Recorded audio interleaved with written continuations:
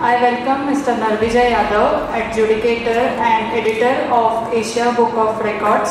He has come all the way from Delhi for this function. I congratulate Patki Hospital under Dr. Satish Patki of Kolhapur, Maharashtra for their incredible journey to set a new benchmark with Asia Book of Records.